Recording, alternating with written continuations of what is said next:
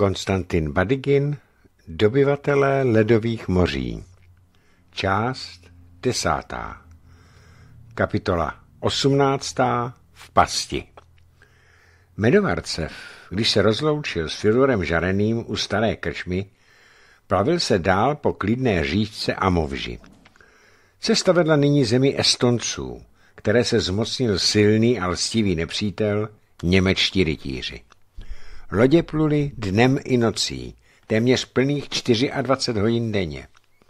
Michal Andrejevič dělal krátké zastávky jen proto, aby si muži uvařili jídlo a nasytili se. Novgorodané pluli na dvou člunech k městu Jurjevu a nesetkali se s cestou ani s nebezpečnými mělčinami, ani s peřejemi. Bylo časné ráno.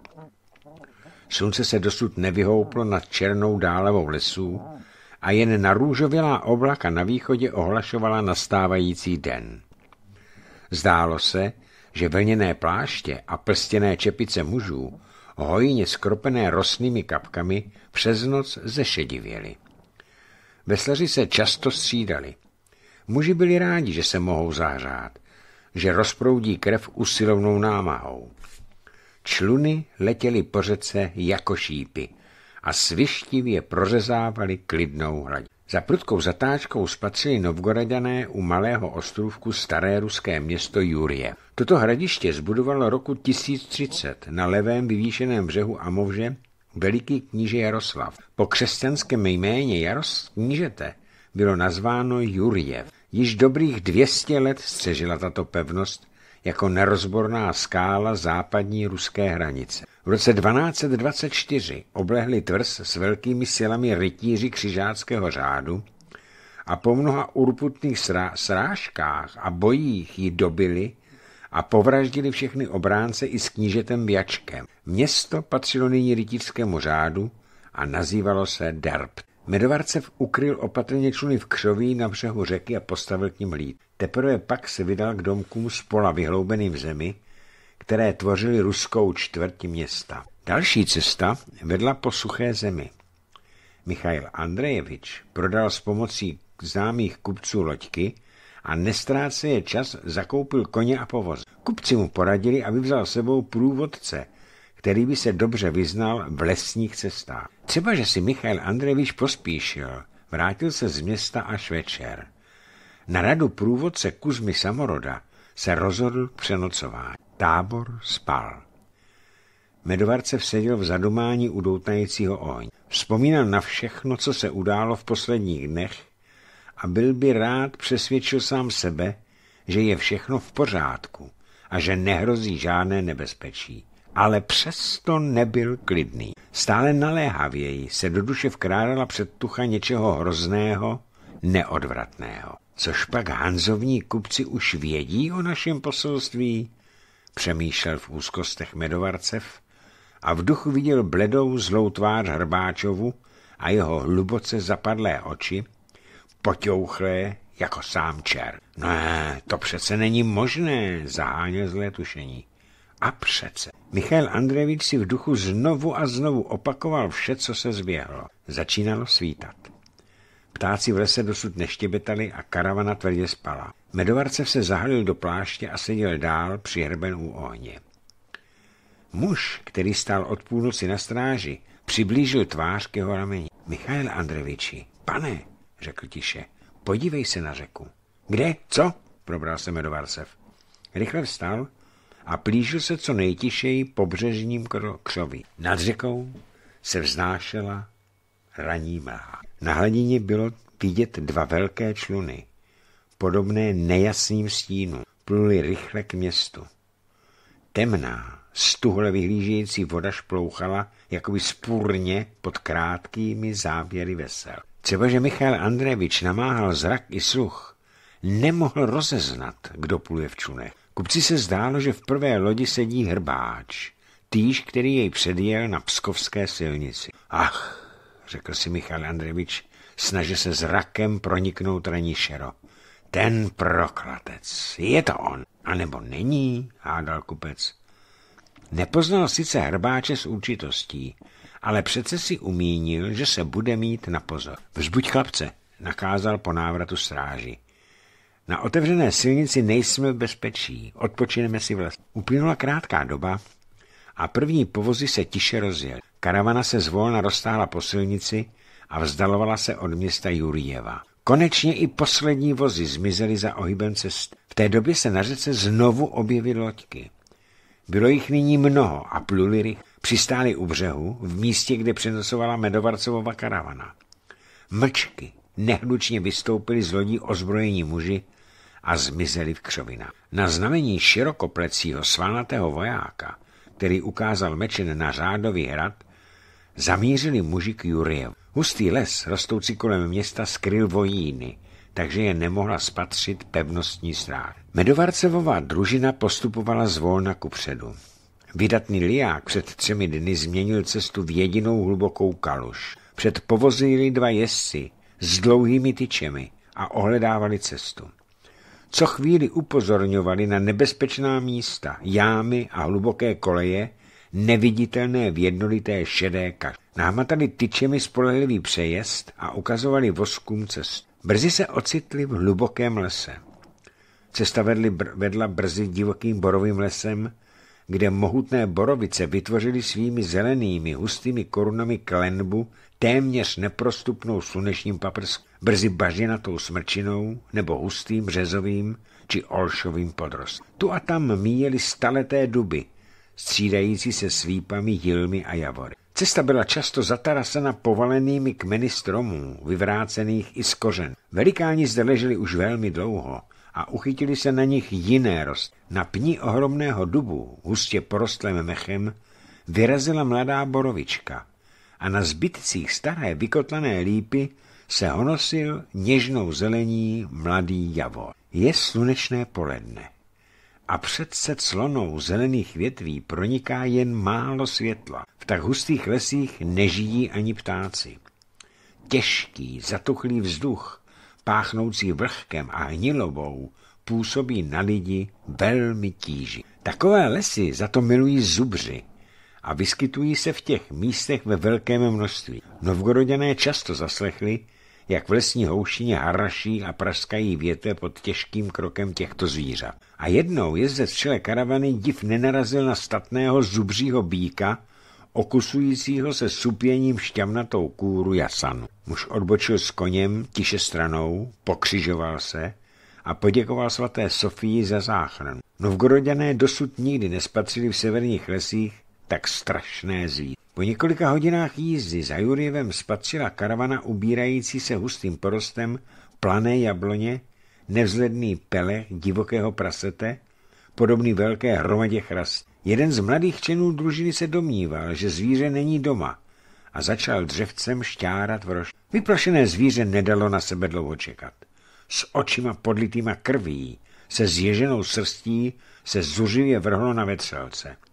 Jinoch sotva stačil uskočit stranou, když se zvíře s, hroznou, s hrozným rykem přehnalo kolem něho. Novgorodané hodili po zvířeti několik oštěpů a pak se na ně vrhli z dřevci v rukou. Byl to silný divočák, mohutných rozměrů. Když z něho stahovali kůži, nalezli vrstvu tuku širokou jako dlaň. Z krku zvířete s námahou vyprostili několik třísek, tlustších než prst. Na večer příštího dne bylo počasí jasné a klid. Pozdní šikmé sluneční paprsky tu a tam pronikaly huskou zelení. Hrady a kostely zbudované Němci obcházeli novgoroděné oklikou, aby je nezahlédli čelné, čel, četné stráž. Po západu slunce se v lese rázem rychle setmělo.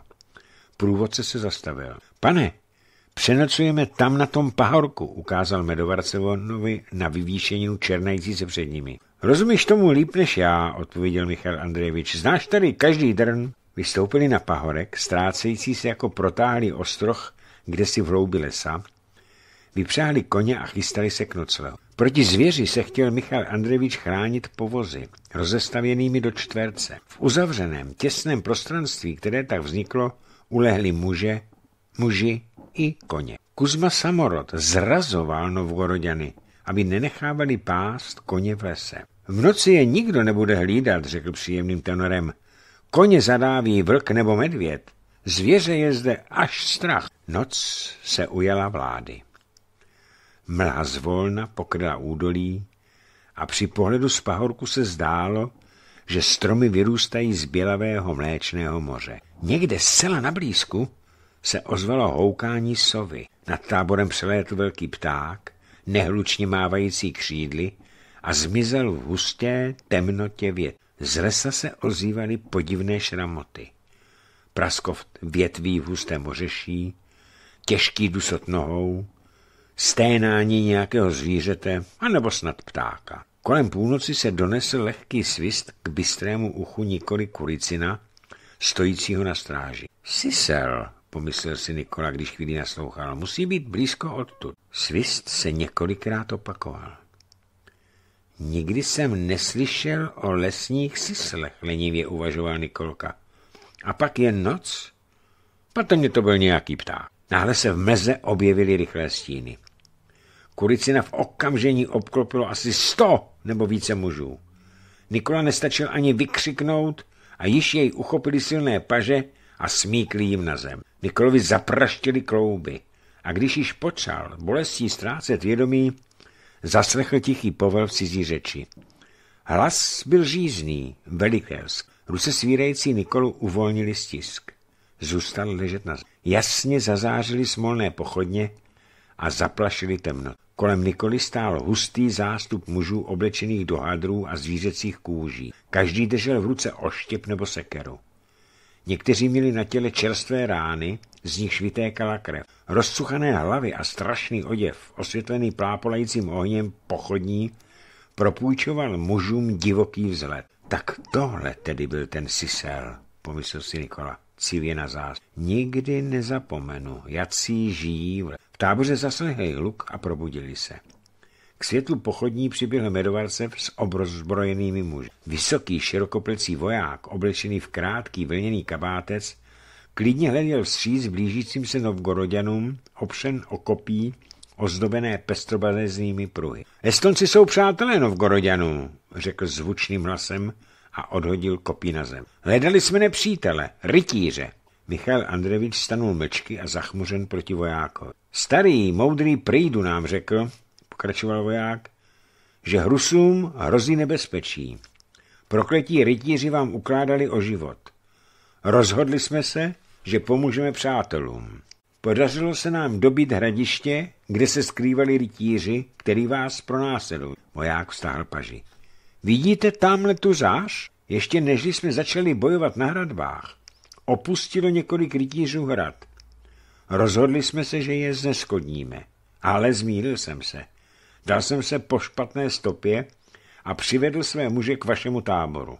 Odpust mi, pane. S těmi slovy podal voják Medovarcevovi ruku. Kupci nyní svítlo, čí loďky to ráno zahledl na řece. Ale chtěl vidět ví. A jací to rytíři jsou nám v patách? zeptal se Michal Andrevič. Je ti to známo? Prýdu vyprávěl, že se za vámi rozili dva čluny. V člunech bylo dvacet vojáků a rytířů. Vedli je kněz s křížkem na plášti.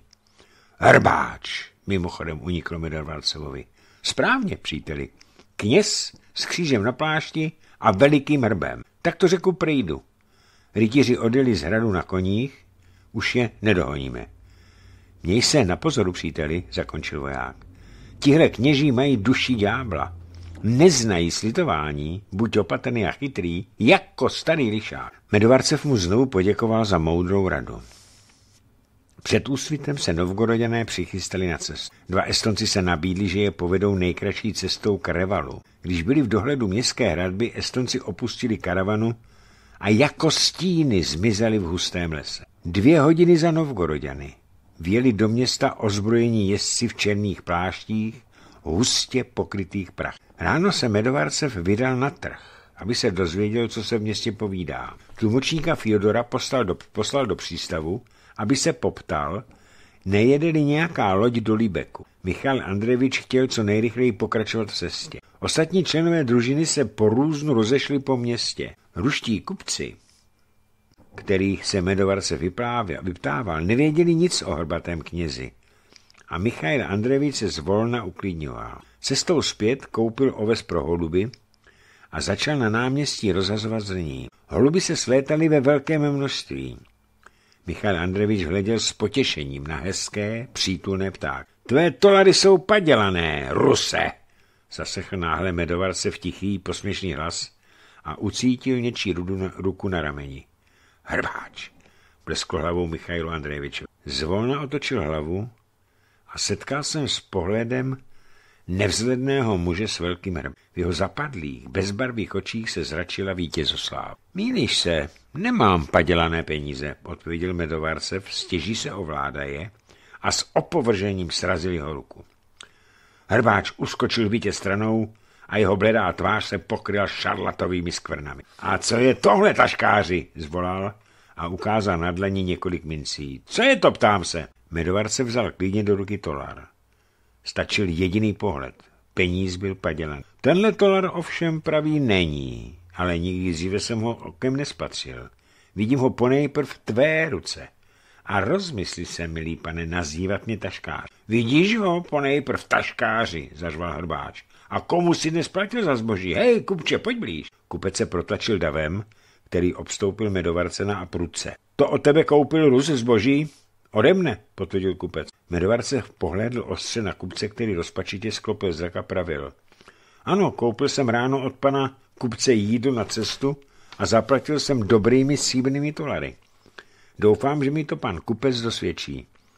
Těmihle si platil, stál hrbáč ruku z penězi. Jen to řekni, kupče, neboj se. Dostal jsem... Dostal jsem od ruského kupce tyhle peníze, koktál Němec. Jsou to jeho tolary. Penězokazče, vyhrkl hrbáč. Zaplatí za to svou kůží. Budeme tě soudit podle svých zákonů. Schromážděný dav zaučil na souhlas. Slaše ho!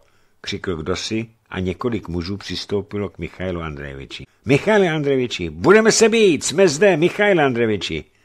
Zasechl medovarce v hlasy mužů své družiny. Několik mužů z jeho družiny se chopilo seker, které měli za pasem a chystali se jej chránit. Dav se rozestoupil. Zadržte chlapci, neprolejvejte krev, nebojím se soudu, nechť končilé rozhodnou. A ty, prodejná duše, jsi stvůra a ne obchodník, lotře, křikl na reválce Michail Andrejevič a klidně šel na radnici. Dny po této příhodě na tržišti se trýzní blekly. Prus byl neústupný a třeba, že soudcové byli na vahách, trval na svém. Medovarcova odsoudili jako penězokaze smrti. Magická síla listiny s podpisem a pečetí řádového velmistra vykonala své dílo. Nadarmo Michal Andrejevič líbal kříž a přísahal, že je nevinen. Marně ruští kupci žijící v Revalu obléhali v zástupech radnici a nabízeli velké výkupné za Vendovarcovovo propuštění. Nic nepomáhalo. Končile se báli odvety řádu a nechtěli o tom ani slyšet. Medovarcev seděl v žaláři v jedné z kulatých hradebních věží. Byl připoután ke zdi krátkým řetězem, pouta mu stěží dovolovala pohnout rukam. Avšak Michal Andrejevič nestrácel naději, že bude osvobozen. Nevěřil, že je možno obvinit zcela nevinného člověka z tak těžkého zločinu. Pravda dosud platí ve světě, uvažoval. Unáhlili se. Uvěřili hrbatému knězi. Ale soudcov, zbor nejvážnějších měšťanů, přece nemůže odsoudit k smrti nevinného. Nemohli by přece klidně spát. Ne, uvěří pravdě a změní svůj názor. Třetí den po skončení soudu obdržel od druhů stručnou zprávu. Líbáme tě, drahý bratře, lec pomoci ti nemůžeme, psali. Doufáme již jen v milosrdenství Boží. Když si Medovarce přečetl tyto řádky, pochopil, že mu už nezbývá žádná naděje. Nebál se smrti. Avšak těžce se umírá výmely, že blahorodné země závisí na zdárném dokončení našeho úkolu. A jemu se nepodařilo dojít k cíli. Toto pomyšlení dohánilo Medovarcova k čílenství. Chvíli se kubec uklidňoval. Počítal za kolik dní asi dorazí do Dánska Fyodor Žarený a kdy tam bude Porfirij Voron. Michal Andrevič sledoval v duchu každý jejich krok na cestě po moři i suché zemi. Nezemřu nadarmo, opakoval si. Svou smrtí odvrátím od nich nebezpečí. Hrbáč nemůže být současně na třech, poselst, na třech místech. Zemřu klidně. Když ne já, tedy druzí za mě splní poselství. Naše svatá věc bude věčně žít. A v zápětí se ale dostavovaly pochybnost. A co když i je potkala nehoda? Porfiry je mlád, Fyodor nerozvážný. Co potom? Tato myšlenka byla provězně nesnesitelná. Stařičký kněz ruské církve, otec Ambrosii, nedbaje svého vysokého věku, vypravil se na návštěvu k ryskému arcibiskupovi, aby stůj co stůj vyprosil pro Medovarcova milo, ale městské úřady nečekali, jak archibiskup rozhodne. Třetí den po soudu měl být na náměstí vykonán rozsud. Jitro bylo slunečné a klidné. Davy lidu zaplnili již od rána náměstí i přilehlé ulice. Muži seděli na střechách, hlavy žen vyhlíželi ze všech oken. Na dřevěném lešení stál mezi stráží Michal Andrejevič. Od chvíle, kdy jej hrbáč nazval penězokasem, uplynul pouhý týden. Avšak po statném muži, vyrovnaném se svým osudem, nezůstalo ani stopy. Medovar se vzhubl a zešedivěl do posledního vlásku. U medovarcevých nohou klokotala v ohromném měděném kotli vřelás. Dva pacholci se zachmuřenými tvářemi přikládali co chvíli na nad ohniště pod kotlem suchá borová pole. Rusové stáli ve skupině zcela blízko. Přišli všichni. Byli mezi nimi Novgorodané, kupci ze Pskova, Smolenska a Moskvy. Chtěli povzbudit Michaila Andrejeviče v těžké hodině, potěšit jej svou účast a stáli zde též se sklopenými hlavami muži Medovarcevovi druž. Na dlažbě zaduněly těžké boty. Na lešení vystoupil hlasatel s listem v ruce. Náměstí stichlo. Hlasatel odděluje slova úsečně od sebe, přečetl hřmotným hlasem rozsudek. Medovarce v klidně naslouchal jeho slovům a stejně klidně přijal knězovo požehná. Když však k němu přistoupil kat, a začal mu svlékat šaty, Medovar se v téměř zešílel.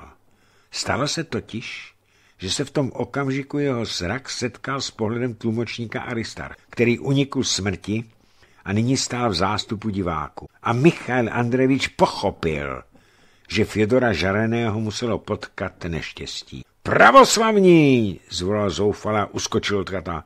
Jsem nevinen, Bůh je mi svědkem. Medovarcev se vrhl do vzdáleného kouta lešení a snažil se vyprostit ruce svázané za zády. Námahou mu zrudla tvář. Divoce koulel očima. Kata a jeho pomocníky, kteří k němu přiskočili, odrážel Medovarcev hlavou i nohama. Supěl a vil jako uštvané zvíře. Rusové přihlíželi nerovnému boji se zaťatými pěstmi, se zacajeným dechem. Dva mladí muži z družiny chtěli běžet Michailu Andrejevičovi na pomoc avšak silné paže jejich druhů je zadrželi. Leč kdyby byla rvačka na lešení trvala ještě minutu, byli by se možná všichni vrhli na pomoc svému krajanu. Avšak k zápasnícím přiskočil hrbatý řádový kněz a vyčkav příhodného okamžiku udržel Medovarceva do hlavy rukojedí meče. Pacholci zachytili Michaila Andrejeviče, který zavrávoval jako opilý a odvedli ho zpět na okraj lež. Vyřiďte, bratři velikému Novgorodu, zvolal jasným tvrdým hlasem Medovarcev, že jsem splnil svou povinnost. Byla to kupcova poslední slova. Kat jej prudkým úderem srazil z leše. Medovarcev učinil ve vzduchu přemet a zmizel v kotoučích kouře. A ozval se srdcerovný výkřik, při něm všem přítomným tuhla krev. Na náměstí bylo slyšet bolestný vzdech. Ruští kupci a muži Medovarcevovi družiny se pokřižovali a šeptali on. Dav se počal rozcházet. Kapitola 19. Znamení černého brouka Rudý sluneční kotouč se právě vyhoupl nad, temným korun, nad temnými korunami dalekého lesa. Bylo chladné severské jitr. Čeleť Stěpana Kotova uklízela dvorec po boji. Jedni sbírali na dvoře zbraně, a házel je na hromadu jako smetí, druzí hasili doutnající chrastí a seno, které švédové nakladli kolem zdí, třetí družně tloukli sekirami a opravovali škody. Za ohradou se ozvalo bučení krav, mekot ovcí, práskání byčem a štěkot hlídacích psů. Pastýři, znepokojení hlukem bitvy, přihnali stáda k nejbližší ohradě. Dmitrie, stojícího úvrat, Zatahal kdo si tiše za rukáv. Jdi domů. Schání se po tobě Amosov, pošeptal Dimitrijovi do ucha Luka Krivoj, jeden z čeledí Stěpana Kot. Co mi kupec chce? Obrátil se rozmrzelé Dmitrej. Znáš Savelie z plavcovy družiny? Znám. Jak bych ho neznal, ožil mladík. Žije? Žije, ale je s ním zle. Kupec mu chce najít ranojiče. Dmitrej rychle vyběhl po schůdcích. Vstoupil do světnice a okamžitě spatřil Amosova. Starý mořeplavec stál u postele raněného, skláněl se k němu a něco mu říkal. Když vrzly dveře, ohlédl se a kývil prstem na Dmitry. Jinoch přistoupil opatrně k posteli. Savelij ležel tváří vzhůru, s vysoko zdviženým ryšovým vousem se stopami zaschlé krve. Vydržel první čas. Teď už mu bude hej, zašeptal hlasitě Dmitry. Savelij se smutně, ale pouze očima zasmál slovům Dmitry. Potřebujeme lékaře, jinak Savelij zemře, ztratil mnoho krve, řekl tiše Trufan Fyodorovič, když odvedl Dmitrie stanou. Pastýř mi řekl, že ví o Ranhojiči, pokračoval kupec. Ale nechce jej přivést za žádnou odměnu. Rád bych tě poprosil o pomoc, Dmitrij. Přiveď lékaře. Dobře se ti odměním. Dmitrij stál se sklopenou hlavou. Šel bych, pane, řekl po chvíli přemýšlení. Je mi Savelie líto, mám ho rád, ale bojím se. Svěřuji se ti jako otci. Bojím se nechat Varvaru o samotě. Kdyby opět přišli Švédové nebo někdo jiný, Trufan Fyodorovič prohlédl na Dimitrie a usmál se. Víš co, chlapče, budu mluvit upřímně. Přivedeš-li lékaře, budu tvým družbou. A chceš-li, vezmu tě do své družiny a vyděláš si peníze do manželství. Tak co? Amosov nastavil svou velkou, suchou dlaň. Dmitrij prudce stiskl ruku Trufana Fjodoroviče. Milý pane, pro Varvanu ti přivedu třeba certa z pekla. Za ocas. Na to žranojiče. Jenom mi řekni, kde lékaře najdu. Zavolej pastýře, Timofeji, oslovil Amosov muže stojícího opodál. Muž vyšel z domu a vrátil se veda za sebou vysokého zpříma se držícího starce s vlasy bílými jako pravé pastýřovo ucho bylo useknuto. Jak se jmenuješ? Zapomněl jsem, otázal se Amosov. Jednouchý, odpověděl pastýř. Umlkl a sevřel ty. Řekni mu, kudy se jde k lékaři. Amosov ukázal na Dmitrie. Stařec dlouho hleděl na mladého muže, jako by chtěl uhodnout, co v něm vězí. Cesta je prostá, řekl posléze. Pluj z hůru po řece k prvnímu přítoku a pak po této říšce. Brzy spatříš vysokou borovici a na jejím kmeni znamení brouka. Tam čekej. Dál nikdo sám nesmí. A půjdu-li dál? Můžeš, nezáleží-li ti na životě. Z pasízových slov vycítil Dmitrij hroz. Koho se mám bát, lidi nebo zvěře? zeptal se dál. Pane, obrátil se pastýř k Amosovovi, řekl jsem, co vím, víc už neřekl. Promiň, pane. Amosov starce propustil. Dmitrij se brzy připravil na cestu. Za pás zastečil sekeru, do ruky vzal obušek, do ranečku krajíc chleba, pomodlil se před tmavou ikonou v koutě a rozloučil se s kamarády. Stěpan Kotov půjčil Golovňovi na cestu pevnou loďku potaženou kůží. Trufan Fyodorovič mu dal pro všechny případy drahokam ze své pokladnice. Dmitrij odnesl na loďku na, loďku na vodu lehce jako hračku, skočil do ní, sedl k veslům a plivl si do dlaní. S Bohem, kamarádi! vykřikl a silnými údery vesel zamířil s loďkou do prostřed řek. Vysoká prstěná čepice Dimitriova se ještě několikrát myhla za pobřežní zelení a pak zmizela. Cesta až k přítoku byla pohodlná. Řeka tekla téměř rovně, jako široký pás uprostřed lesu. Pak zabočil Dmitrij do malé říčky, jak mu poradil pastýř, a prodíral se hustými křovisky rostoucími kolem vody. Řeka byla chvílemi tak úzká, že smrky stojící po obou řezích se navzájem dotýkaly větvem. Loďka najednou vyplula z úzkého koryta řeky na malé lesní jezírko. Ze všech stran je ukryval temný les a břehy kol dokola byly porostlé baheními travin. Vládlo zde tak mrtvé ticho, že i Dmitriovi, třeba že přivil k lesu, bylo úzko. Loďka přeplula jezero a znovu se dala po řece. Dmitrij zaslechl hluk vodopádu. Ten prokletý stařec mě podvedl, pomyslel si Golovňa. Jak najdu borovici s vyřezaným znamením? Je tu borovice jako máku. Avšak za ostrou zatáčkou řek spatřil najednou vysokou borovici na písečném výběžku, který se před ním náhle objevil. Stařík nelhal, řekl Dmitrij a opřel se do vesel. Vidím i znamení, nelhal. Již z dálky bylo vidět na tlustém pni bílou značku. Když Dmitrij dojel k borovici, přivázal loďku k výhonku silného kořene vyčnívajícího z podemletého břehu a vystoupil na břeh. Nebyl již na pochybách. Kůra stromu byla hladce odsekána na světlé ploše bylo vypáleno znamení podobné brouku o velikosti vajíčka. Je to černé, není to vrána. Má to rohy, není to bík. Má to šest noh bez kopit a stopu to nenechává. Vzpomněl si Dmitrij na dětskou hádanku. Je to brouk. Dmitrij se rozhodl, že počká. Usedl do měkké trávy a opřel se o kmen borovice. Jeho myšlenky se toulely daleko od. V duchu viděl, jak mu Stěpan Kotov říká se zezami v očích. Vezmi si, Varvaru Dmitriuško. Bůh s tebou. Střeší jako oko v hlavě.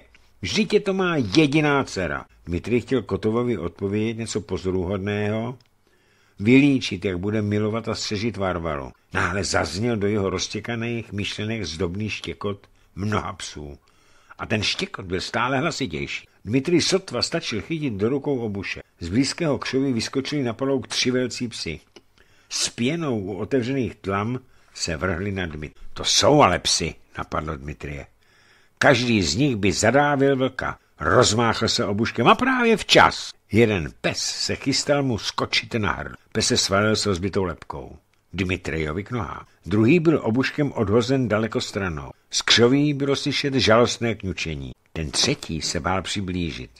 Naježil srst a zuřivě štěkal. Z křovin vyskočilo ještě několik psů a téměř současně se na loupce objevil jinoch. Zpátky, hej, zpátky, křičel na psy. Zpátky, ke mně, ke mně, divochu. Chrabec přivázal obratně psy za obojky k tlustému čtyřranému řemeni a přidržuje celou smečku jednou rukou zvolal hněnivě. Proč si zabil psa? Kdo jsi? Odkud přicházíš? Je ti milejší mizerný pes, nežli křesťanská duše? Odpověděl klidně Dmitrij a otřel si z čela kapku pod. Kdybych se nebyl ohnal palicí, byl bych už napravdě boží. Jsi pokřtěný? Očích neznáměho zestážilo zděšení. Pokřtěný. Dmitrij se pokřižoval. Vypadám snad jako Tatar? Pokusil se ožer. Neznámý ustoupil zpět, vzal do ruky válečný roh, který mu vysel u krku, na stříbeném řetízku a zvedl jel kertum. Tu, tu, tu, tu. Vyrušili les z klidu hlučné poplašné signály. Co to je? nastražil Dmitrij sluch. Vyplašíš všechnu zvěř v lese? Postoupil o krotku předu. Hledám lékaře. Pastýř povídal, nepřibližuj se, vykřikl neznámý. Poštu na tebe psy. Zůstaň u Borovice. Přijdou naši a s nimi si promluv. A znovu zatroubil. Bim bam, bim bam. Ozvali se z lesa vzdálené údery na zvuky zněly poplašně. Rozléhali se paloukem a jejich ozvěna zanikala v temném houští lesa na břehu řeky. Dmitrij byl nesvůj. Jako v cedníku. Děr spousta, ale ven se nedostaneš, řekl náhle.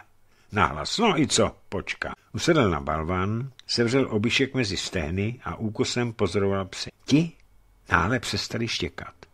Dmitrij zvedl oči a spatřil vedle neznámého chlapce starého muže v dlouhém plášti z šedého domatkaného sukna se sukovicí v ruce. Stařík se co si zeptal chlapce a pak šel k Dmitriju. Co pohledáváš v našich lesích? zeptal se a přísně pohledl na, jich, na jinocha spod hustého šedého obočí. V bitvě se Švédy byl těžce raněn můj přítel, řekl spěšně Dmitrij. Potřebuji lékaře. Starý pastýř Stěpana Kotova mě poslal sem tomu stromu se znamením brouka. Skončil a ukázal na borovici. Jak říkají tomu pastýři? Otázal se stařec. Jednouchý. Někdo mu usekl jedno ucho jako by šavlí, vysvětloval ochotně golovně. Přátelé jednouchého jsou i našimi přáteli. Pojď se mnou, zaslechl Dmitrij neočekávanou. Stařec se obrátil k chlapci a něco na něj zavolal. Jdeme, dědo, řekl rázně Dmitrij a pohledl na neznámého. Je to daleko? Stařec neodpověděl. Posunul si prstěnou čepici hlouběji do čela a vykročil. Za křovisky spatřil Dmitrij menší oddíl mužů ozbrojených krátkými oštěp. Chlapec netroupil nadarmo, napadlo volovně. Šli podél řeky. Na březích ležely místy velké šedé balvany jako hromady kamení. Šum vodopádu byl stále hlučnější. Za několika ostrými ohyby byla říčka zatarasena kamenou hrází, přes níž voda s hlukotem stékala několika malými vodopády. Říčka tak zde tvořila hluboké jezero s příkrými břehy. Na pravém břehu, hned vedle vodopádu, spatřil Dmitrij vysokou dřevěnou modlu. U jejich nohou ležel na udupaném prostranství ohromný bík s pozlacenými rohy. Bík byl poražen a jeho vnitřnosti zalité krví ležely opodál. Stařec klesl před modlou na kolena a několikrát se poklonil až k zemi. Jsou to pohané, hádal Dmitrij.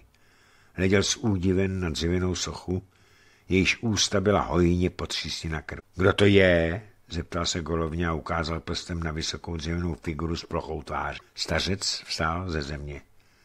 Buchohně, Perun, odpověděl po chvíli. Dnes je veliký svátek, den Perunův. Jemu v oběť byl zabit bík. Vy křesťané ctíte místo Peru, Peruna proroka Eliáše, dodal. Oba svátky totiž připadají na týžden. Pravda? Dnes je svatého Eliáše, podívil se Dmitrij. Vida, odkud to pochází? Zřejmě se nemůžete obejít bez našich svátků, prohodil stařec nevlídně. Vaši popové připodobnili své svaté našim bohům. Nech naše svaté na pokoji, starše, přerušil Dmitrij. Já nehaním tvého boha, tak nelípej. Stařec utichl. Šli dál mečky. Náhle se k Dmitrijevu překvapení objevila na protějším břehu vysoká budova z tlustých trámů obehnaná ohrada. Budova se tyčila na nízkém návrší. Kolem ní stálo několik dřevěných domků. Bylo cítit kou. Máte tu veliké město, podívil se Dmitrij, kráčeje za starcem po úzkém mostu. Když došli na druhý břeh, zůstal Jinoch stát a s úžasem hleděl na lesní osadu. Kdo tam žije v tom paláci, posadníka nebo kníže? Je to chrám velkého dárce života, boha bohů, odpověděl úsečně stařec. Počkej tady, zavolají tě. Stařec se zastavil u vysoké ohrady, rozepěl plášť, vzal do ruky velký klíč, který měl za pasem a odemkl bránku. Vešel do ohrady a rychle za sebou přibouchl vrátka. Bylo slyšet, jak se klíč otáčí zám. Dmitry si všiml, že ohrada kolem chrámu není jaká. Každá laťka byla zdobená řezbou představující různé zbraně a váleční, válečnou výstroj. Každý kůl, stojící vždy za, za každými deseti latěmi, byl ozdoben ornamentem.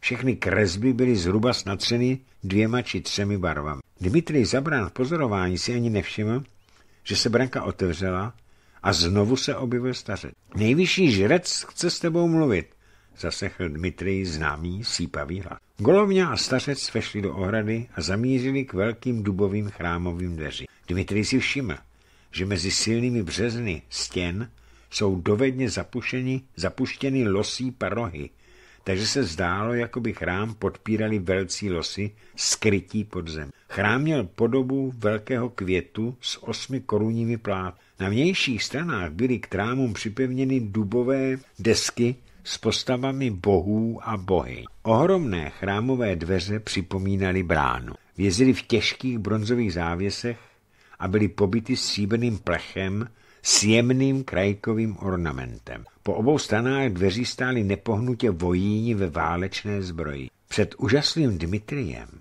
se dveře zvolna otevřely. Do hlouby chrámu vedl úzký koberec se zeleného sukna. Jdi, pobídl stařec. Když Dmitrij překročil práh, dveře se za ním zase nehlučně zavřely. Po několika krocích přivykl golovňův vzrak přítmý. Ze šera se počaly vynořovat zdi. Proti velkým dveřím stála v hloubce chrámu ohromná dřevěná socha, jejíž hlava se téměř dotýkala chrámové klenby. Byl to bůh bohů, bůh nebe i země, nejvyšší bůh pohanských slovan. Po pravici nejvyššího boha stály zlaté modly dvou dalších bohů. Po levici sochy dvou bohyň. Byly to synové a dcery velkého dárce život. Sela blízko Dmitrie stála socha boha Dažboha, boha slunce. Měl na čtyřech šíjích čtyři hlavy, každou obrácenou jiným směrem. V pravé ruce držela modla tuží roh, zdobený zlatými a stříbenými destičkami, levá paže byla ohnuta a opírala se v bok. Roucho sahalo až po kolena. Stejně velká modla byla Perunova, boha ohně. Jeho hlava byla ze zlata. Dřevěné paže a trup byly ozdobeny drahokami. Dmitrij si prohlížel velké rubíny, smaragdy a diamanty zdobící peru. Dále stály menší bohové, z nichž někteří byli oděni v helmice a gruníře a divoce hleděli na Dmitrije. Purpurovým koberci byl chrám rozdělen na několik částí.